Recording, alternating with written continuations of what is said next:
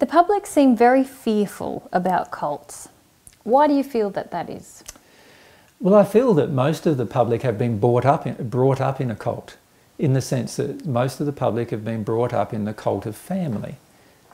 If you examine almost every family, the behaviour generally is this. If any member of the family does not agree with the family, then generally they are expelled from the family or punished. Now, that is the actions of what I believe the actions of a cult would be. Now, because most people are brought up in that kind of environment where they're not really loved, but they are either punished or bartered with, I believe by the time they get to be adults, because those emotions have not been released from them, they are very sensitive to any organisation that tries to do the same thing as what their parents did. Interestingly enough, though, they still accept their parents doing what they had generally done all of their lives, but they are very sensitive to other people doing that particular thing to them. Understandably so, I believe. We, we should not ever have to put up with that kind of behaviour where we are punished when we have a different point of view or opinion and uh, we should not ever have to put up the behaviour where we barter with people for their love. However, that is what most people are brought up with, and so that is what most people expect in a relationship, but they also become very sensitive to that kind of behaviour.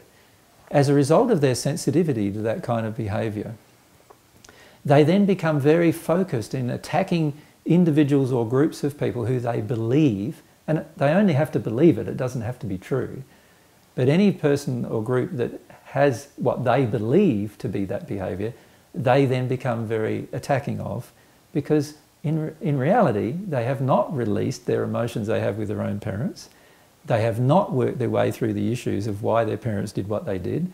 And they just take out these emotions on other people who are basically doing the same kind of thing as what they grew up with in their own family. That is why I believe the majority of people are afraid of cults. My opinion is that there's very, there's very little to be afraid of because you can leave anything if you have free will. You're allowed to leave anything at any time. You don't have to get involved. You can use your mind and you can use your, your emotional, clear emotional state to determine whether you want to be there or not. And you should never be anywhere where you do not want to be.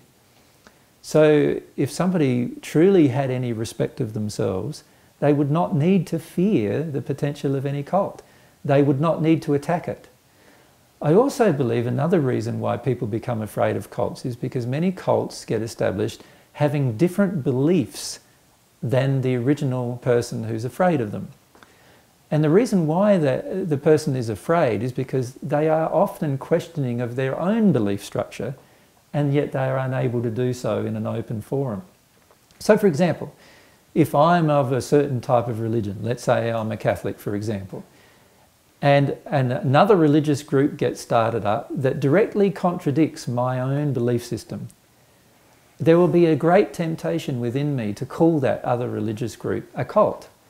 That way I can label the group and not have to examine their teachings to see how those teachings contradict my own and how my own teachings may be flawed. I feel a lot of people label other, other groups negatively because they are afraid of examining their own beliefs and afraid of examining their own emotions.